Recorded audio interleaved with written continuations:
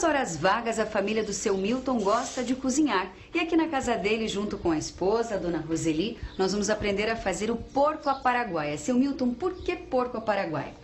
Isso é um prato típico da, da nossa região. Eu calculo que é por causa do nosso país vizinho, que fica a menos de 60 quilômetros.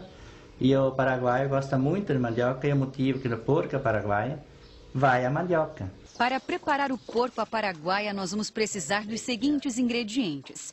Uma peça de 9 quilos de leitão desossado com pele, uma lata e meia de milho, uma lata e meia de ervilha, uma lata e meia com variedades de legumes, meio vidro de palmito, meio pacote de maionese, meio pote de mostarda, 150 gramas de queijo mussarela e presunto fatiados, 2 quilos de mandioca cozida e amassada.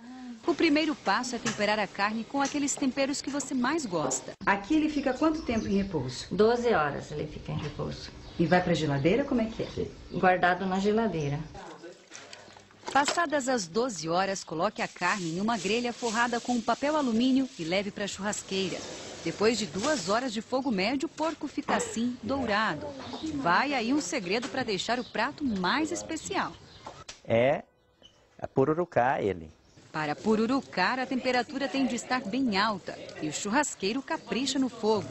Aos poucos, as camadas vão tostando.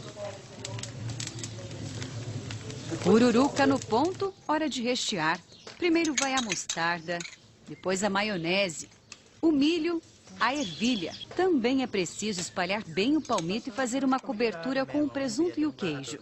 O prato é finalizado com as camadas de mandioca.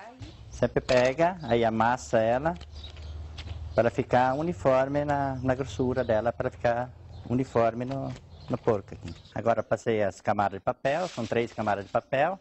Agora a gente fecha a grelha e volta ele ao fogo. E por que, que tem que estar bem protegido assim, com papel? Para não queimar. Depois de 20 minutos, aí está o porco à paraguaia que estrala de tão crocante. O acompanhamento fica por conta da criatividade. Pode ter farofa, saladas, arroz. Uma combinação irresistível de abrir o apetite de qualquer um.